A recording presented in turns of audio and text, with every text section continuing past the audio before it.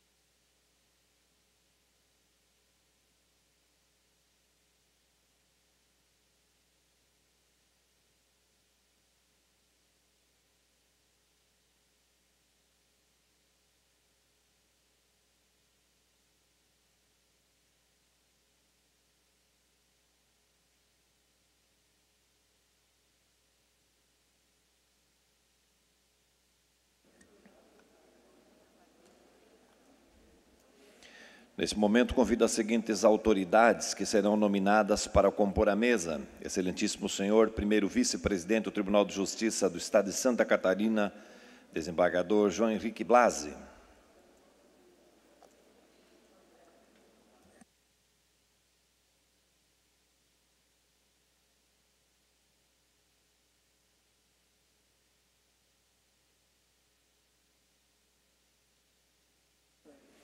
Excelentíssimo senhor presidente do Tribunal de Contas do Estado de Santa Catarina, conselheiro Adircélio de Moraes Ferreira Júnior.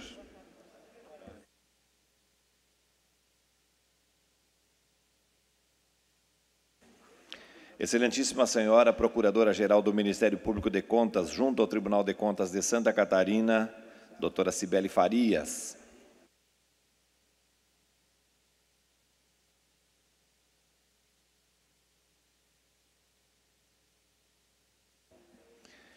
Nesse momento, damos início ao ato de assinatura do termo de cooperação técnica que entre si celebram o Tribunal de Justiça do Estado de Santa Catarina, o Tribunal de Contas do Estado de Santa Catarina, a Assembleia Legislativa do Estado de Santa Catarina e o Ministério Público de Contas de Santa Catarina, que tem por objetivo estabelecer os procedimentos a serem observados para a realização entre os partícipes de procedimentos licitatórios em conjunto, na modalidade pregão eletrônico, quando identificadas necessidades em comum que possam ser supridas por meio de contratações compartilhadas a serem realizadas por meio do sistema de registro de preços.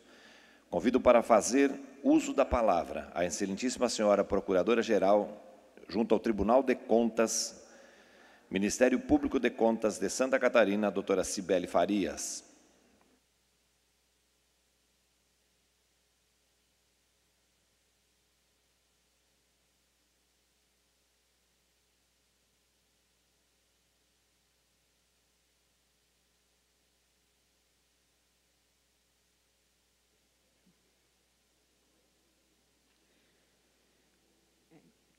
Cumprimento o excelentíssimo senhor presidente da Assembleia Legislativa do Estado de Santa Catarina, deputado Mauro de Nadal, o excelentíssimo desembargador João Henrique Blasi, vice-presidente do Tribunal de Justiça, neste ato representando o desembargador Ricardo José Roesler, presidente do Tribunal de Justiça, o excelentíssimo senhor presidente do Tribunal de Contas de Santa Catarina, Adircélio de Moraes Ferreira Júnior, excelentíssimos senhores deputados e deputadas, bem como demais servidores desta Casa e autoridades aqui presentes.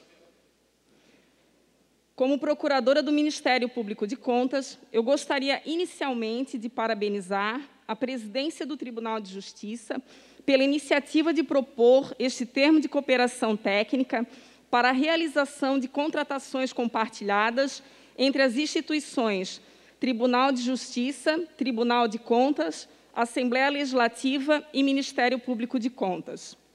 Tal instrumento reforça as boas práticas de gestão pública no âmbito das instituições signatárias. Gostaria de destacar aqui três vantagens que o Ministério Público de Contas identifica na adoção das contratações compartilhadas no setor público. Em primeiro lugar, a economia processual, pois em vez de realizar diversas licitações, é feita uma licitação para todos os órgãos participantes. Em segundo lugar, o ganho em escala promovido pela agregação dos quantitativos demandados pelos órgãos, permitindo a negociação de um preço final mais vantajoso para a administração pública. E, em terceiro lugar, a melhoria da qualificação das especificações técnicas, uma vez que se pode aproveitar a expertise técnica compartilhada entre os órgãos participantes na fase de planejamento das licitações. Esse instrumento, já consolidado na administração pública, traz vantagens também para os fornecedores, que podem participar de uma única licitação com um maior volume de fornecimento e, por isso, oferecer preços unitários mais baixos e ganhar na escala dos produtos a serem vendidos. Como se vê, o presente termo de cooperação, que será assinado pelas instituições aqui presentes, é um importante passo para o uso mais eficiente e mais eficaz do dinheiro público, meta a ser perseguida por todos os órgãos públicos do país. Eu agradeço a atenção de todos os senhores e, mais uma vez, parabenizo as autoridades que aqui se encontram pela viabilização do presente instrumento. Muito obrigada e boa tarde a todos.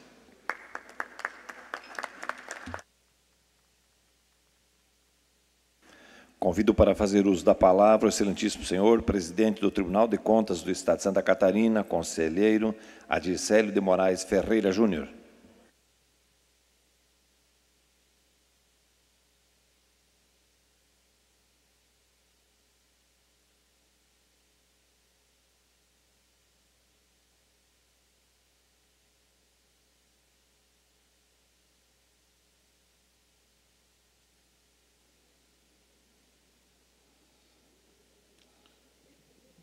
Muito boa tarde a todos. Gostaria de, em primeiro lugar, cumprimentar o presidente da Assembleia Legislativa, deputado Mauro Nadal, o vice-presidente do Tribunal de Justiça, desembargador João Henrique Blasi, que neste ato representa o presidente do nosso Tribunal de Justiça, desembargador Ricardo Reslen, doutora Sibeli Farias, eminente procuradora-geral do Ministério Público de Contas, que nos antecedeu em sua fala.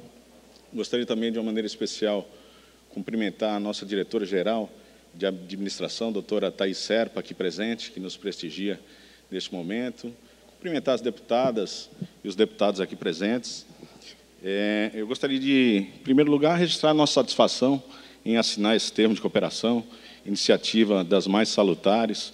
Em 2020, a nossa Diretoria de Administração e Finanças dialogou, dialogou e estudou juntamente com as demais entidades aqui presentes, demais órgãos e poderes, em especial o Poder Judiciário, que teve essa iniciativa, e encaminhou a, a participação nesse projeto importante.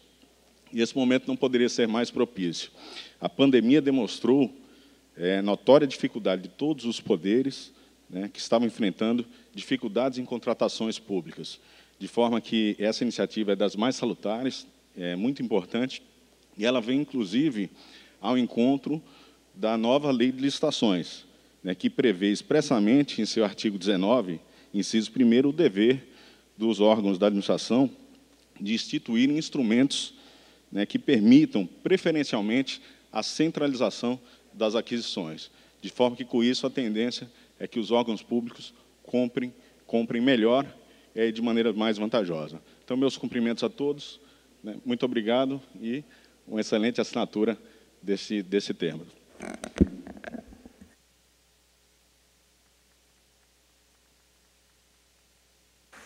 Convido para fazer uso da palavra o excelentíssimo senhor primeiro vice-presidente do Tribunal de Justiça de Santa Catarina, desembargador João Henrique Blasi.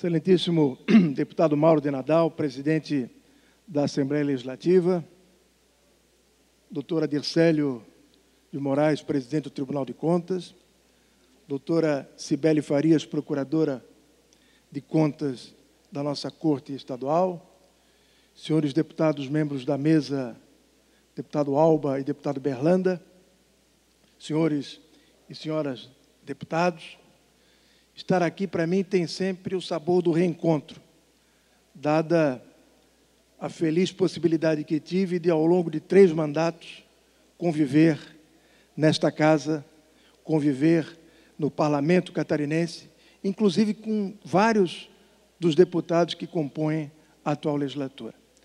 Por isso, o meu respeito, por isso, a minha admiração perene a esta casa e aos seus integrantes lídimos representantes do povo catarinense.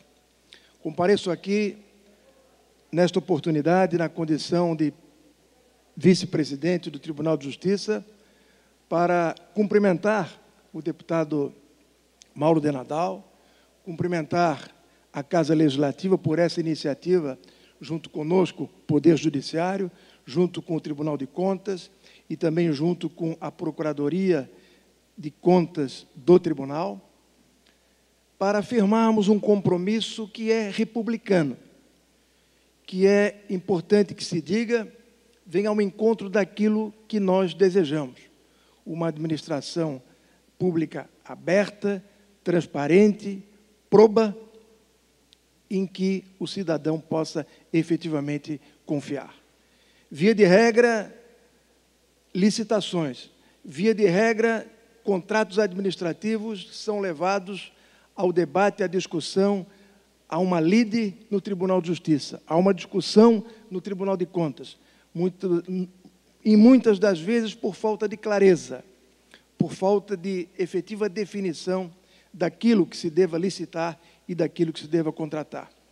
Por intermédio desse instrumento que hoje será firmado, em boa hora, essas instituições que dele participam estabelecem um mecanismo importante.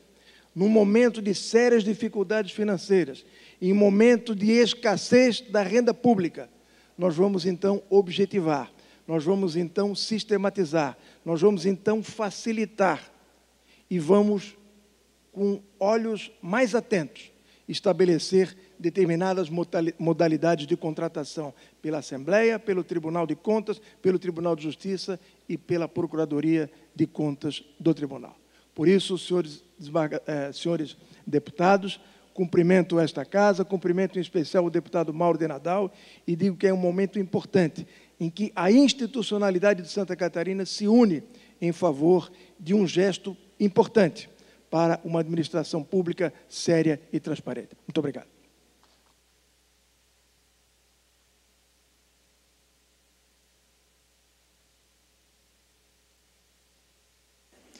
Convido o mestre de cerimônia para que proceda a nominata dos poderes e instituições que integram o grupo de cooperação técnica para assinatura do termo.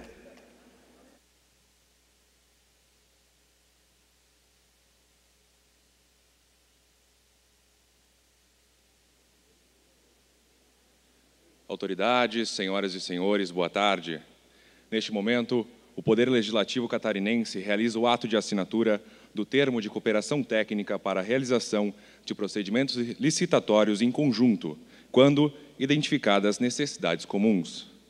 Convidamos para se posicionar junto à mesa no centro do plenário, onde acontecerá a assinatura do termo, o excelentíssimo senhor presidente da Assembleia Legislativa do Estado de Santa Catarina, deputado Mauro de Nadal.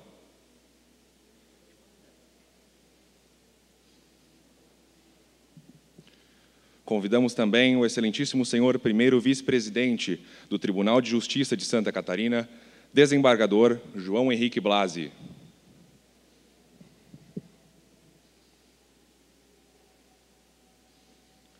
Convidamos o excelentíssimo senhor presidente do Tribunal de Contas do Estado, Conselheiro Adircélio de Moraes Ferreira Júnior.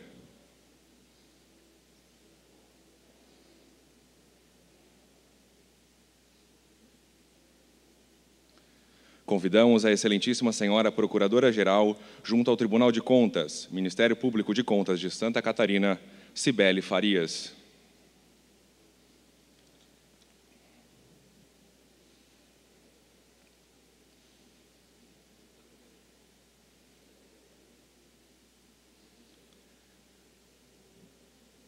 Neste momento, solicita as autoridades para proceder com a assinatura do referido termo.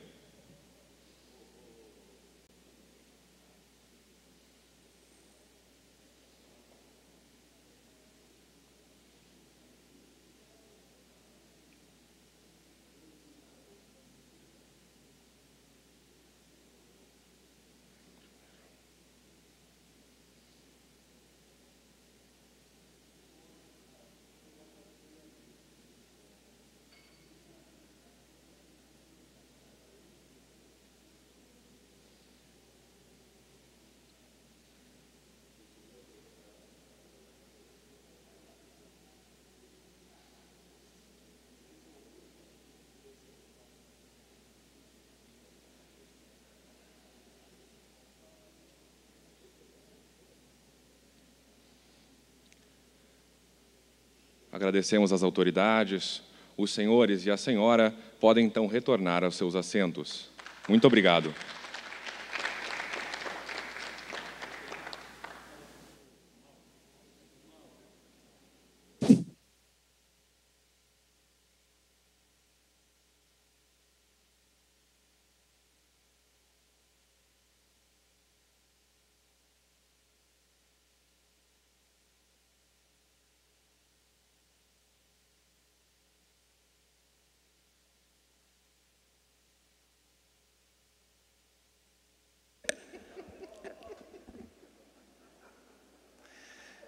Senhores e senhoras líderes, pelo tempo de até dois minutos, quiserem fazer uso da palavra.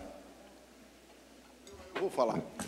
Deputado Kennedy Nunes. Eu queria cumprimentar a todos da mesa.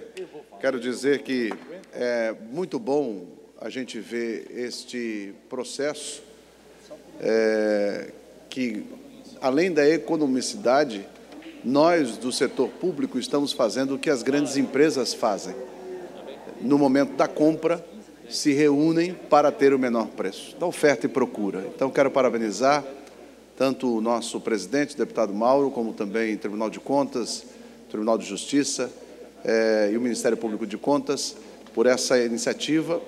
E isto me faz acreditar que, além da economicidade, da agilidade, também a gente tem um pouquinho mais de segurança para não acontecer o que aconteceu há tempos atrás da compra dos 200 respiradores que foi até hoje uma marca muito difícil é, da gente ter. E se tivesse isso, quiçá não teríamos caído no golpe que Santa Catarina deu.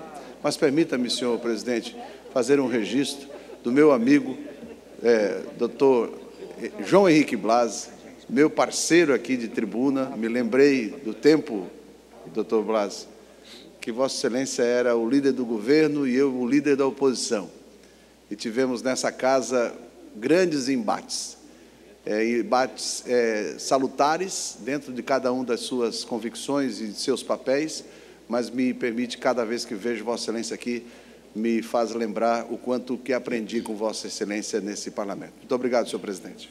Senhor presidente, é lá, senhor presidente. Pela ordem, deputado Marcos Vieira. Senhor presidente, lhe cumprimento. Em seu nome, quero cumprimentar demais deputadas, demais deputados fazem presente mas também cumprimentar o sempre deputado, o hoje desembargador João Henrique Braz, primeiro vice-presidente do Egrégio Tribunal de Justiça da Catarina, é, cumprimentar o conselheiro Adircélio, que é o presidente do Tribunal de Contas, e a senhora Cibele, é, que é, é, da Procuradoria de Contas é, do Estado. Dizer, senhor presidente, parabenizar pela iniciativa é, de Vossa Excelência é, para envolver poderes e órgãos no sentido de proceder à assinatura desse termo, desse acordo, para fazer eh, licitações de forma conjunta. O nosso Tribunal de Contas tem, efetivamente, um quadro funcional eh, muito técnico, mais, do mais alto gabarito, e, com certeza absoluta, o conselheiro Adicélio haverá de prestar todo o apoiamento, não tenho dúvida nenhuma. Mas, ao cumprimentá-lo, eu quero também fazer uma referência especial ao seu deputado e amigo João Henrique Brasi, né, se ele, na época, era líder do governo e o deputado Kennedy era da oposição, deputado Kennedy, na maior, no maior projeto de lei de reforma administrativa dos últimos 30 anos em Santa Catarina, João Henrique Blas era o relator da matéria, e eu, com muita alegria, com muita satisfação, eu fui escolhido o relator adjunto do deputado João Henrique Blas. Só não me faça contar o dia anterior da tramitação final do projeto de lei. E ele está rindo, deputado Blas. Mas parabenizar a todos da mesa. Muito obrigado, senhor presidente. Parabéns. Pela... Se me permite, senhor presidente. Deputada Paulinha. Da mesma forma, eu quero manifestar aqui o meu abraço e a minha satisfação de acompanhar esse momento. Em primeiro lugar, parabenizando Vossa Excelência pela iniciativa e também estendendo meu abraço ao Adircélio, à Cibele e ao Blasi, que é um, um, grande amigo e um homem que reúne toda a minha admiração, ele sabe disso desde o período em que ele se fazia presente na tribuna dessa casa. É, eu quero dizer para vocês, meus colegas, que isso sim é dar retorno efetivo à sociedade. Esse gesto, esse ato que é provocado hoje pelo, pelo presidente Mauro, com respaldo dos poderes. Nós estamos falando aqui pontualmente de transparência, de eliminação, em definitivo, de qualquer chance, processo corruptório num procedimento licitatório, porque a gente envolve a força dos poderes é, nesse processo de aquisição entre poderes, e isso é maravilhoso, é um passo muito importante para o Estado de Santa Catarina, e eu lamento que talvez os tempos sejam tão densos que as pessoas não possam valorar com a devida, é, é, com o devido tamanho que esse momento hoje nos impõe. Na prática, o cidadão catarinense vai ter mais economia, mais transparência, mais resposta e mais resultado nos processos de compra dos poderes. Parabéns a todos os órgãos envolvidos, em especial a Vossa Excelência, presidente Mauro. Presidente Mauro. Deputado Silvio Drevec. Na sequência, deputado Maurício Kudilark. Obrigado, senhor presidente, deputado Mauro de Nadal. Eu passo cumprimento também o vice-presidente do Tribunal de Justiça, desembargador doutor João Henrique Blasi.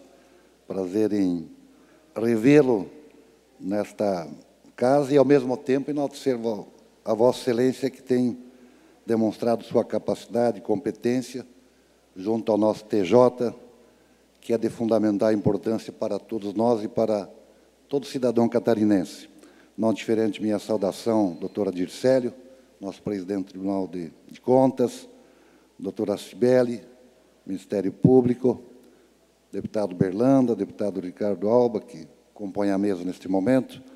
Eu quero destacar também aqui, a, além da importância desse termo de cooperação técnica, é a demonstração da capacidade, da inteligência e, ao mesmo tempo, da independência dos poderes estarem sempre trabalhando em prol do cidadão catarinense. Há divergências, há convergências, e por isso é importante que não seja unânime, tanto em um poder quanto em outro, mas o importante é ressaltar que, historicamente, Santa Catarina tem dado bons exemplos da independência, mas da convivência pacífica e da construção de bons projetos, de boas políticas públicas em favor dos catarinenses. Por isso, nosso reconhecimento, presidente, o nosso muito obrigado a mais a esse ato de relevância para todos os catarinenses. Deputado Maurício Kudilark. Senhor presidente, senhores deputados, autoridades, doutora Dircélio, doutora Cibele, doutor desembargador João Henrique Blasi, é, nesse momento em que a gente vê a cada dia é, novas formas de, de descuidar e de aplicar mal muito, o dinheiro público, é sempre importante esse trabalho conjunto de fiscalização e de apoio é, uma fiscalização que seja eficiente, rápida e não emperre as atividades e torne todas as licitações, compras e todo o serviço público transparente. Então, vejo com alegria isso que a sociedade quer, isso que a sociedade nos cobra. Já que foi, foram levantadas algumas lembranças, só queria render minha homenagem ao deputado Blasi, então, na época, quando secretário de Segurança, em 2006, que eu tive a oportunidade de assumir essa Assembleia por alguns meses, e que, graças ao convencimento dele, junto ao governador Luiz Henrique, nós conseguimos aprovar a aposentadoria especial dos policiais civis. Problema que, infelizmente, doutora Dircele, até hoje ainda assombra os policiais, não temos muita clareza nessa situação, mas esperamos que logo e agora com a reforma administrativa a gente saiba fazer um divisor para quem tinha uma legislação e os direitos previstos e para os novos que agora estão entrando, que esses podem sim obedecer uma nova, nova regra. Mas é, parabenizar a todos, dizer da importância desse ato. Obrigado a todos os senhores e senhoras deputados. Entre tantos atos que esta casa celebra ao longo deste período que eu estou aqui como deputado estadual, qualifico esse como um dos mais importantes, né? porque juntamente com o Tribunal de Justiça, Tribunal de Contas do Estado de Santa Catarina, a gente sela um pacto, um grande pacto em favor dos catarinenses, um pacto da melhor aplicação do recurso público, que é fruto justamente do imposto deste catarinense. Né? Ao tempo em que todos aqui fizeram referência é, de uma forma bem preciosa, né, do quanto significa este momento para a história é, dos poderes. Né? Digo que além da economia, da economia processual, de tramitação de todo um processo legislativo, porque tem algo que se combate muito, e principalmente aqui, é, voz corrente aqui no parlamento, é a morosidade com que a máquina pública responde ao cidadão de Santa Catarina, responde ao cidadão brasileiro. Né? Ao tempo que a gente formaliza esta cooperação, nós estamos ganhando tempo em resposta a esta sociedade, porque uma licitação, na grande maioria das vezes, ela leva no mínimo 45 dias. Né? E tem algumas ainda que levam muito mais, dependendo dos recursos que forem interpostos na tramitação do processo licitatório. Então, nós vamos ganhar em tempo, vamos ganhar na qualificação técnica, como aqui mencionou com muita precisão a doutora Cibele, porque uma qualificação técnica, no momento em que você busca padronização de um simples objeto comum aos poderes, que é um copo, por exemplo, né? Ao tempo que nós temos essa padronização, nós já vamos evitar que neste item nós tenhamos um recurso questionando a qualificação deste item. Então, nisso também ganhamos, e além de preço, é claro, onde vários órgãos se colocando à disposição de adquirir o produto, o preço tende a ser bem melhor e o produto de muito mais qualidade. Então, todos nós ganhamos com isso. Quero agradecer aqui a presença, agradecer imensamente a presença eh, do desembargador eh, Dr. João Henrique Blasi, a presença do conselheiro e presidente do Tribunal de Contas Adircélio de Moraes Ferreira Júnior e também da doutora Cibele Farias, que representa aqui o Tribunal eh, de Contas, Ministério Público Tribunal de Contas do Estado de Santa Catarina. Muito obrigado pela presença de todos vocês. Para nós é um momento de muita alegria estar firmando este grande compromisso em prol de Santa Catarina.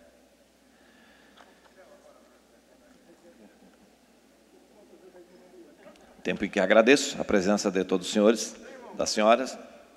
E na sequência, então, passo a palavra para o deputado Ricardo Alba, para que na sequência possa fazer a retomada da sessão.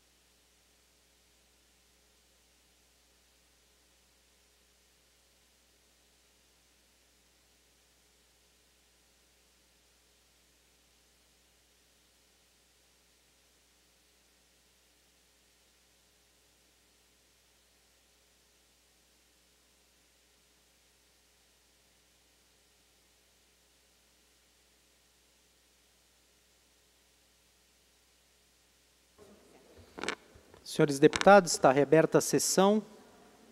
Em breves comunicações, deputado Sargento Lima.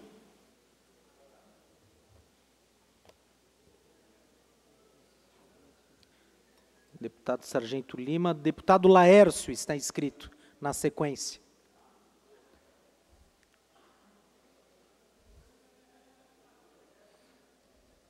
Então, deputado Maurício Skudlark, na sequência.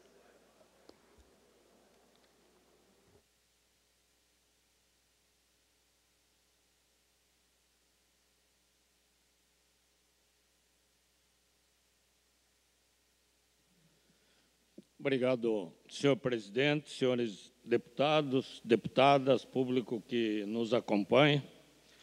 É, primeiramente, queria fazer um registro. Hoje, o governo do Estado está entregando quase 200 viaturas para a Polícia Militar. São acredito que quase todos os municípios de Santa Catarina vão receber. Há um compromisso do comandante-geral de substituir todos os veículos é, que sejam um ano abaixo de 2014. A viatura policial é importante, roda 24 horas por dia. Nós temos nas nossas emendas aqui também 26, 27 viaturas é, previstas para municípios do Estado e mais essa relação agora deliberação, é, Bom Jesus do Oeste, Braço Trombudo, Cunha Porã, Cunhataí, Descanso, Dionísio Cerqueira, enfim, todo o estado de Santa Catarina é, recebendo a modernização da tropa. Isso é muito importante. O policial quer respeito, reconhecimento, condições de trabalho e promoções, que é o reconhecimento da, da sua atividade, que é um direito, e com isso nós temos em Santa Catarina as melhores polícias do Brasil, seja a Polícia Civil, seja a Polícia Militar, o nosso IGP e todos os órgãos de segurança pública, os bombeiros também. E nós tivemos, ah, na última semana, uns fatos acontecidos no Rio de Janeiro e que é, já não estiveram tão longe de acontecer em Santa Catarina.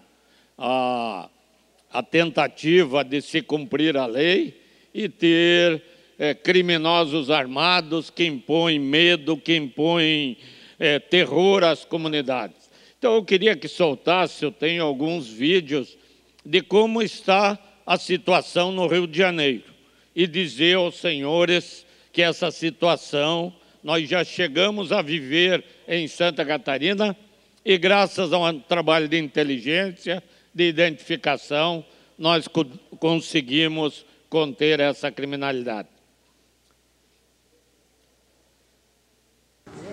E aí, mano, pronto para botar bala para comer? Isso aí, isso aí é o Rio de Janeiro.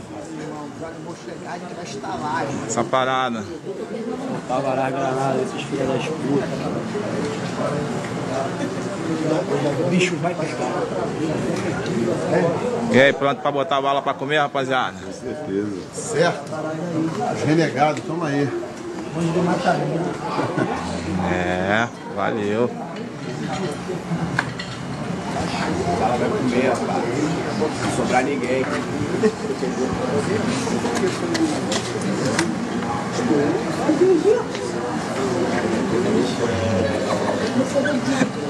É bandida também.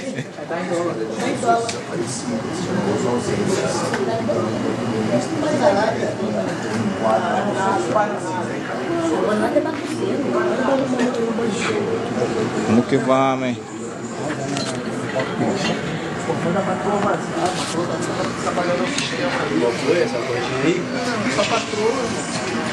Você não manda vir lanche pra ela pra ela ficar tranquila. Só manda vir lanche pra ela ficar tranquila. Manda vir lanche também. Manda do renegado, manda do macaneiro, mano. Vamos que vamos. Acabando pra comer agora. Nós mandamos te esconder atrás do poste. Não vamos esconder. Aí é só juntar dois postes. Gostei de mim, pô, tô vendo isso.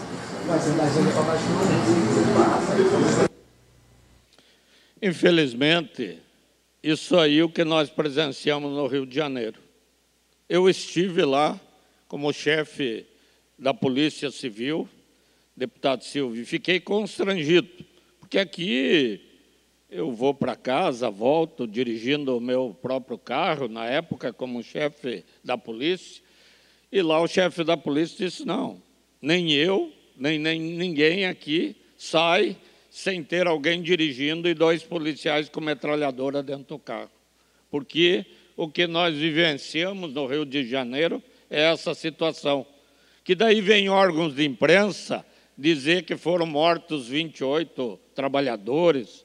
Não, trabalhador não anda com metralhadora, com espingarda, com fuzil, com pistola trabalhador ou policial pode chegar na casa dele, que ele abre a porta, pergunta o que é e vai atender.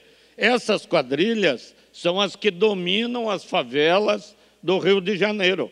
E nós tivemos um princípio dessa situação em Santa Catarina alguns anos atrás, alguns problemas no norte da ilha, em alguns locais, onde já, tá, já estavam chegando armas desse calibre para marginais, para facções em nosso estado.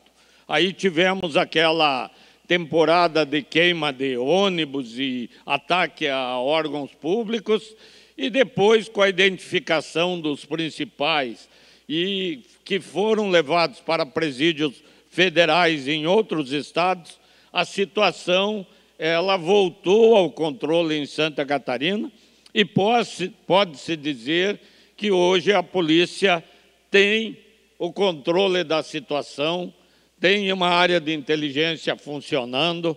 Quando chega algum armamento, logo é identificado, consegue saber e consegue tirar de circulação.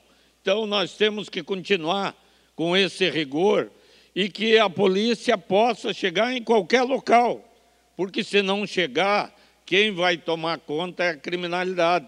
Lá no Rio de Janeiro, o caminhão não consegue descarregar alimentos nos mercados lá, porque eles vêm lá, sequestram, roubam a carga, carga de cigarro, de qualquer coisa.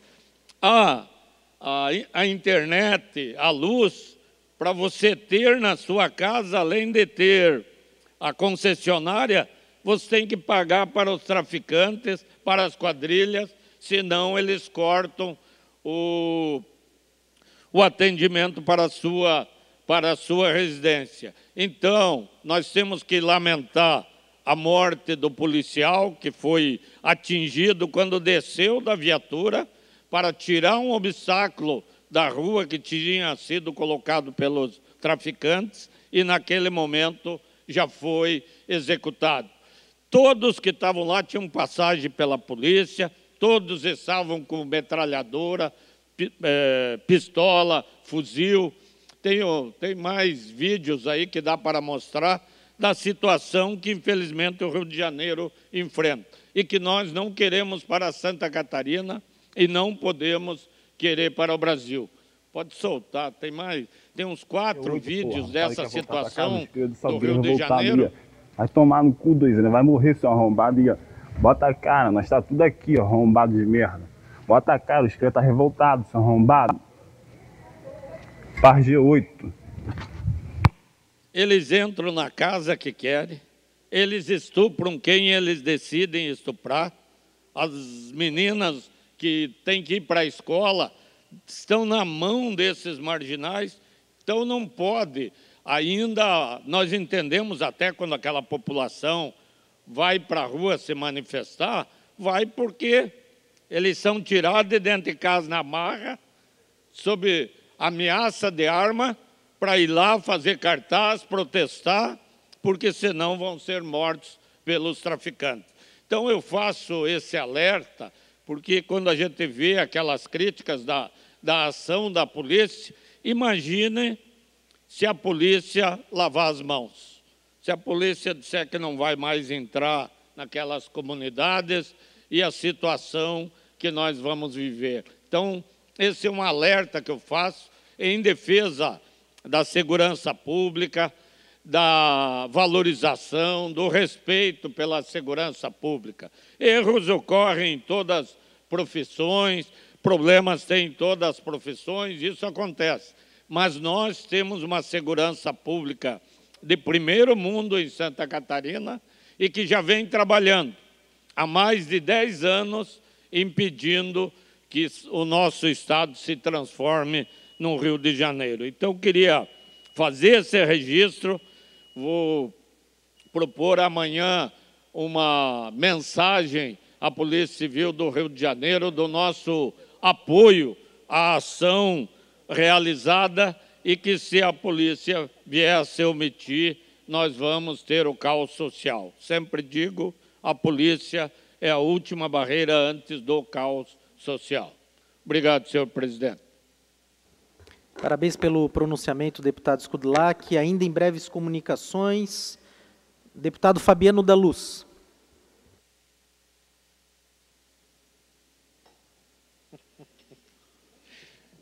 Obrigado, presidente Ricardo Alba. Cumprimento o deputado Nilson Berlanda e as deputadas, os deputados, a todos aqueles que nos acompanham. E primeiro quero falar um pouquinho sobre o fato histórico que foi a última sexta-feira, a votação do impeachment ou não do governador Carlos Moisés. Para dizer que, para mim, eu não participei de uma disputa entre Moisés e Daniela. Né? Não são do meu partido, nem do meu grupo de apoio, então eu estava ali como um julgador. Segundo, sobre o meu voto, juridicamente não havia o que discutir. Ministério Público, Tribunal de Contas, Polícia Federal, Procuradoria Geral e também o STJ retirando o nome do governador de qualquer investigação, porque não encontraram nada do nome dele envolvido na compra dos respiradores. E também porque um dia, conversando com um desembargador do Tribunal de Justiça, e discutindo um pouco sobre algumas decisões que são tomadas no Poder Judiciário, no Ministério Público, e me chamou a atenção quando ele disse que ele olha tecnicamente cada processo. Mas além de olhar a técnica, a lei, o jurídico, ele também procura olhar para fora da janela. E o que eu entendi para fora da janela? Nós já tivemos inúmeros exemplos de injustiças que foram cometidas. Se nós pegarmos o próprio caso do ex-presidente Lula, foi preso por indícios de ser dono do triplex. Depois, como diz o deputado Titão, tiveram que desfritar o ovo, voltar atrás e reconhecer que o triplex não era do presidente Lula e a vergonha ficou com Sérgio Moro. E foi assim com a cassação da presidente Dilma, que foi afastada por pedaladas fiscais, que 20 dias depois foi inocentada das acusações.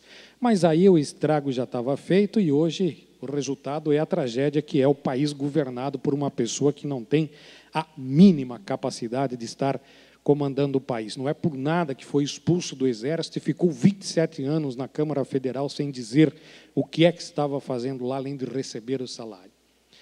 E também discuti com alguns promotores na época, porque muitas vezes qualquer ato falho que aconteça numa prefeitura, imediatamente se pede bloqueio de bens do prefeito, investigação, aí perante a sociedade ele já é um bandido.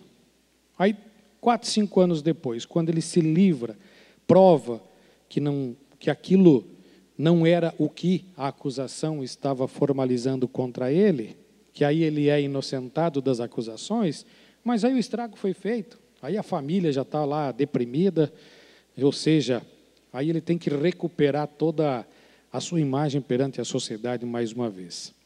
E isso também pesou na decisão quando a gente parava para pensar, mas eu acompanhei a CPI, junto com o deputado Cobalcini, que também foi um dos membros da, do Tribunal Especial, e que a todo momento se discutia se o governador soube dia 23, dia 25, dia 28, dia 22, mas isso nós discutíamos, em momento algum se chegou alguém que disse: Olha, eu fui e fiz isso amando do governador, eu fui e fiz isso porque o governador me pediu, ou de alguém que disse: É, nós tivemos que atender a um pedido do governador. Então, essa falta de prova material, que nem Ministério Público, nem Tribunal de Contas, nem Polícia Federal, nem Procuradoria Geral, né, e que também o STJ não conseguiram encontrar nada, é uma prova de que também não se poderia cometer uma injustiça e sim se manter a coerência ética e aquele preceito jurídico, e eu não sou advogado, mas escuto bastante, leio e tento aprender com os que estão ao meu lado, né? na dúvida, pro réu. Então, se não há realmente uma dúvida, se não há uma certeza naquela acusação que estava sendo feita, não cabia a mim fazer um ato de condenar uma pessoa sem ter a certeza de que ela realmente é culpada. Então, eu hoje estou muito tranquilo, muito seguro do voto que eu fiz, durmo com tranquilidade por saber que eu não cometi uma injustiça contra nenhuma pessoa. Isso eu carrego comigo com uma grande grandeza. Obrigado, senhor presidente. Obrigado, deputado Fabiano. Não dá mais tempo para breves comunicações. É, agora o horário é dos partidos políticos. Primeiro horário, PT. Deputada Luciane Carminati. Por até seis minutos.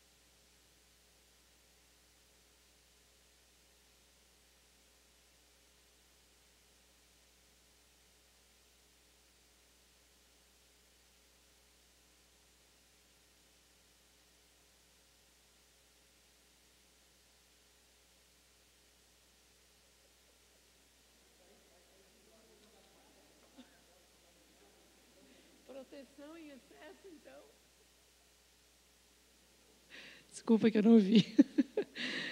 Eu quero cumprimentá-lo, presidente, e todos os colegas deputados, deputadas.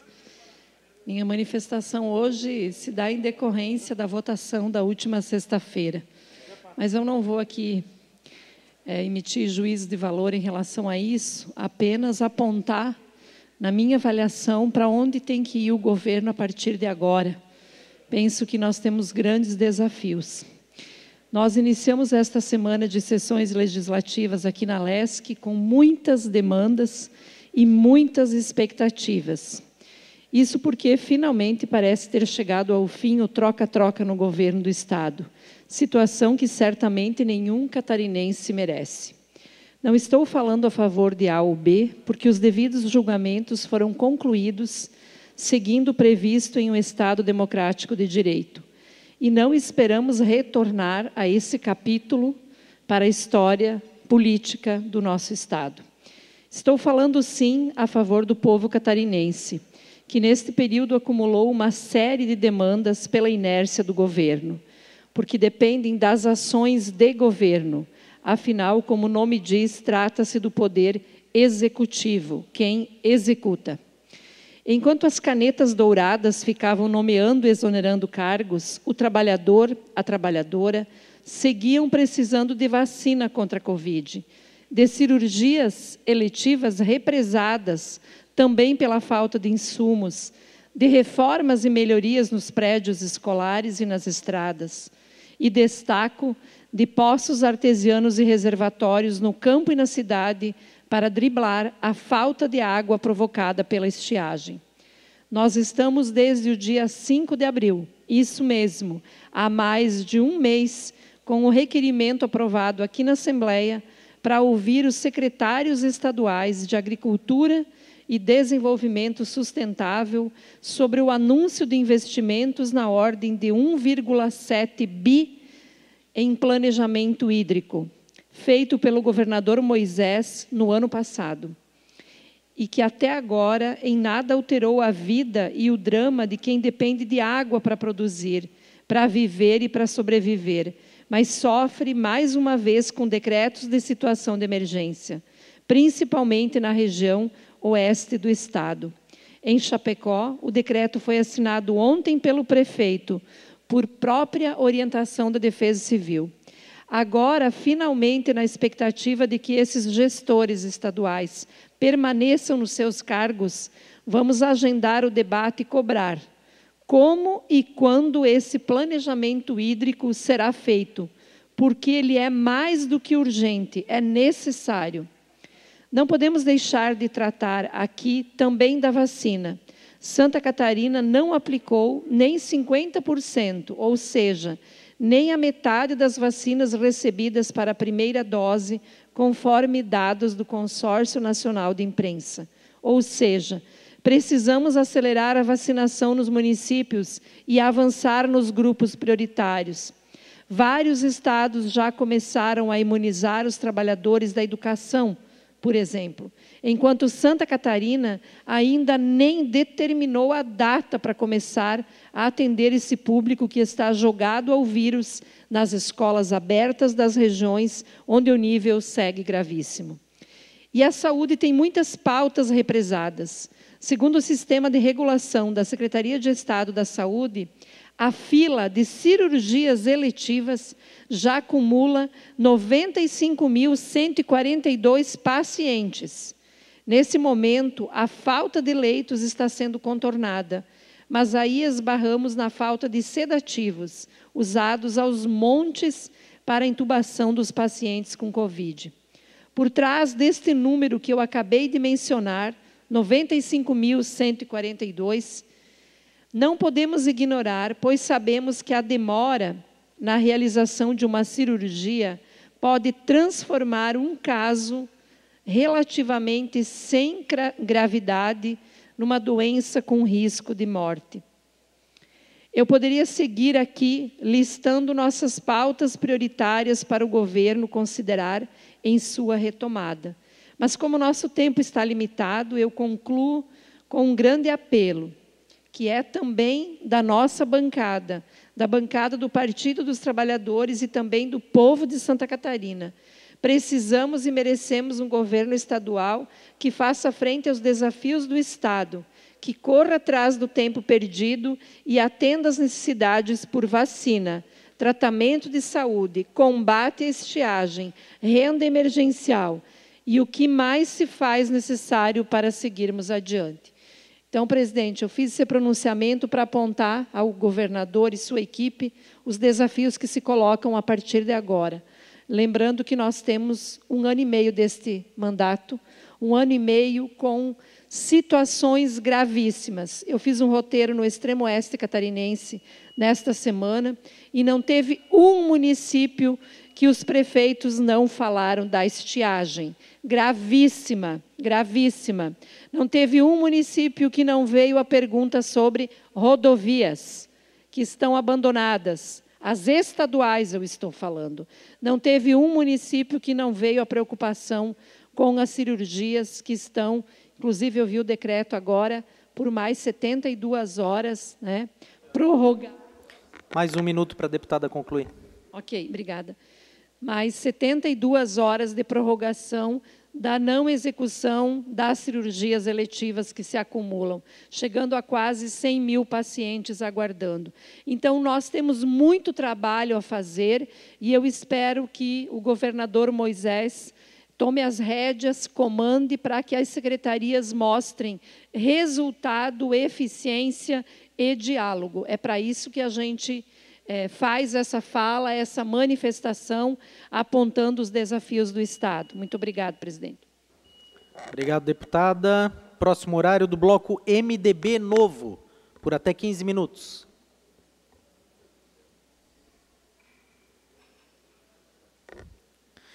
Próximo horário do bloco PSL-PL, por até 15 minutos.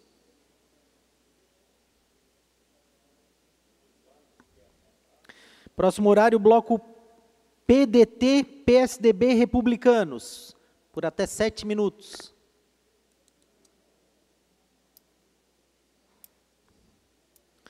Próximo horário, bloco PP, PSB,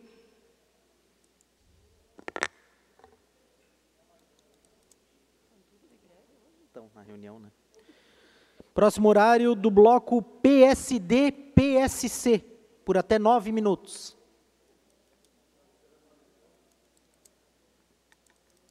Ordem do dia, cadê? Hã? Hum? Então, passamos para a ordem do dia. Aliás, às 16 horas, né? Suspendo a presente sessão até às 16, quando reiniciaremos com a ordem do dia.